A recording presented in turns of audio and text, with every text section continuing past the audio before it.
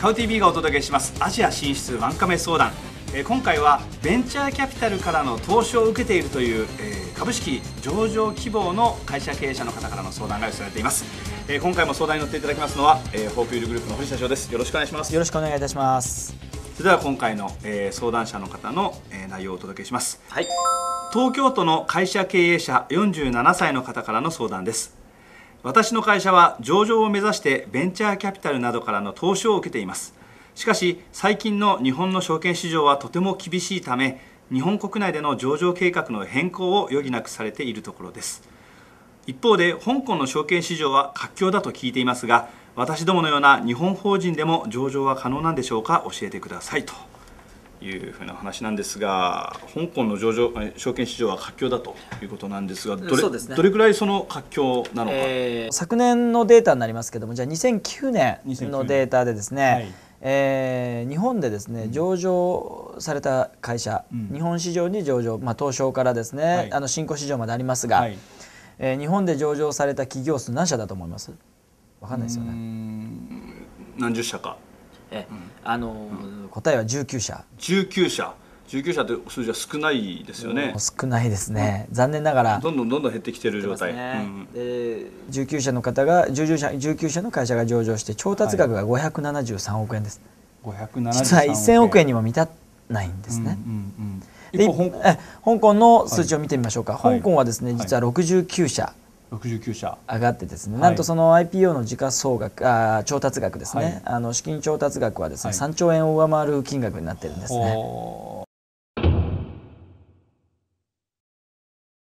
片や600億円。約600億円です、ね、600億円。はい、こちら片や3兆円。3兆円ですね。はあなるほど。もう桁が2つ違うわけですね。そうなんですね、うん。まあ、あの当然上場されてる企業数も違うんで、その金額も大きくなるわけなんですけれども、えーこの上場数の少なさに加えて、今やっぱりあの上場廃止に追い込まれる企業さんもとても増そうでえてますすよね。ね。そうですね。ええ。ですので、はい。まあ、それだそれだけ香港の活況だということだと思うんですね。なるほど、はい。この方はそのいわゆる日本国内での上場計画の変更を余儀なくされているというふうなことなんですがこれそのどうなんです？日本の企業っていうのはその外から見たらどういうふうに映ってらっしゃるんですやっぱりあのなんていうんですかね非常に技術的にも、う突き詰めていく、まあ、例えばテクノロジー系の企業であれば突き詰めていく、サービスであれば最高を出せる、たくさんのですね、優秀な企業さんがあるんですね。でこのたくさんの優秀な企業さんが実は海外投資家の目に触れないまま最優秀賞を実は世界で取ってるケースが多いわけじゃないですか。なるほど。つまりあのー日本の証券市場でも、はい。たくさんの優秀な企業さんが上場されてますけれども、はい。あの世界のですね投資家は非常にですね日本に注目しておりますね。で特に、えー華僑うん。あの中華系のお金ですね、の方々はですね自国の企業が伸びてはいますが非常にまだ脆弱な状態にありますからどうしてもそのテクノロジーであったりサービスの良質化向上化によって自国いや自社のですね、えー価値を担保したいわけですね。ただあのそちらの企業さんはですね、まあ、それを作っていくために非常に時間がかかると、じゃあ何かうまくですね、そういう技術を持ってるあるいはサービスの非常に高いサービスのノウハウを持ってる企業とうまく仕事をしたいわけですね、でそういうところが一つの機会でしょうから。日本にそういう企業があるっていうことなんですね。ということは世界中の投資家みんな知ってるんですね。ですから投資をしたいと思う日本の企業には投資意欲は非常にあると思いますね。なるほど。今回のこのご質問なんですけど、はい。えー私ども日本の法人でも上場することは、香港で上場することは可能なんでしょうかということなんですがお答えから申しますと上場は可能です、可能。可能です、はい。えーただいくつかの、うんお話をしなくてはいけないと思うんですが、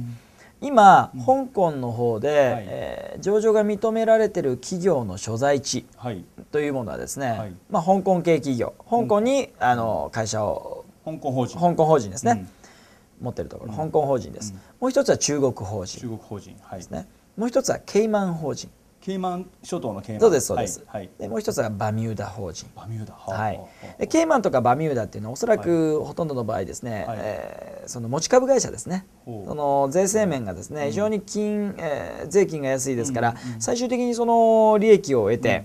えー、いろんな子会社からですね、事業益の残りをですね配当として吸い上げてくると、こういうものをモデルビジネスモデルにしているいわゆるホールディングカンパニーですね、ホールディングカンパニーの上場を目指す場合こういうケイマンとかバミューダというのは多いですけれどもこの4地域なんですね、基本的には。ここに所在している会社であれば香港で上場可能。です。ですから、はい、こちらの日本の企業さんが今上場しようとするならば方法は2つ、はい、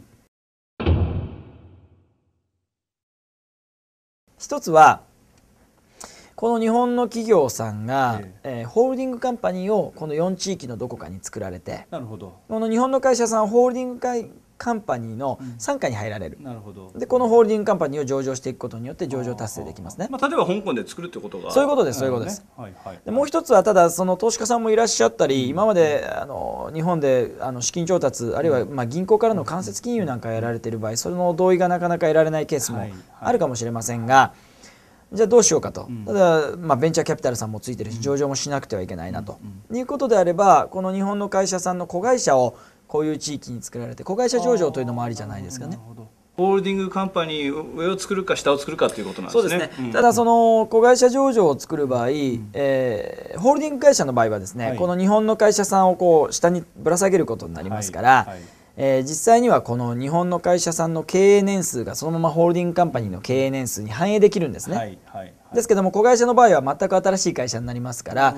そこからゼロから積み上げていかなくてはいけない、事業年度はゼロからそうなんですね。ですからその香港には2つの市場があるんですね、はい、一つはメインボードといういわゆる、はい、あの東証一部みたいな。そうですね、はい、もう一つは新興市場の GEM GEM と言われている市場があるんですがこのジェムという市場がある。いずれにしてもそうです、はいはいはい、いずれにしても2年あるいし、うん、あるいは3年以上のその実務の経験が求められるんですね。ですから、まあ、早く上場したいということであればホールディングカンパニー型、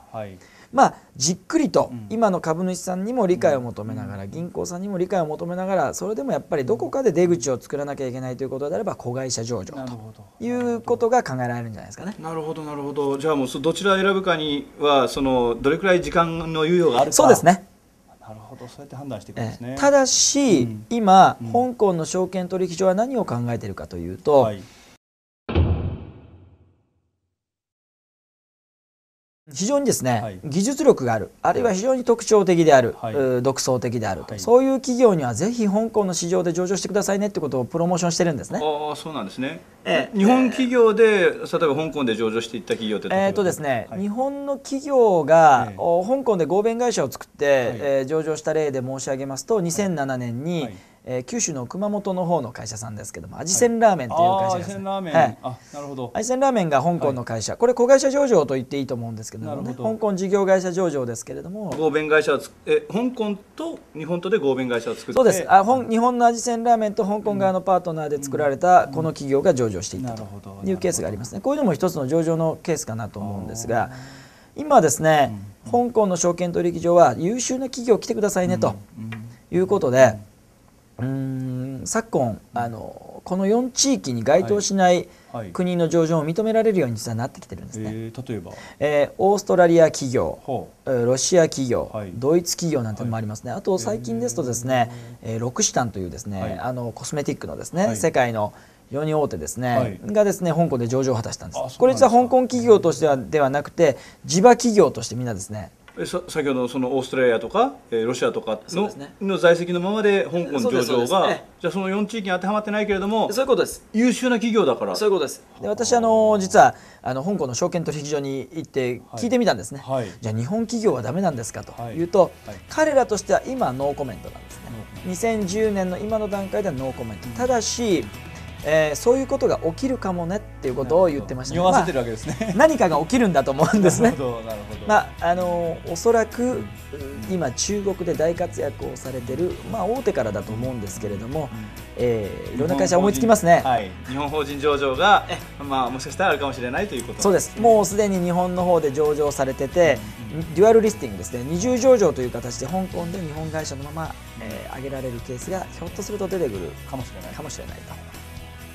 もしかするとこの番組をもう一度取り直さなきゃいけないかもしれないと いうことがあるかもしれないですね。その時はまた改めて。そうですね。はい。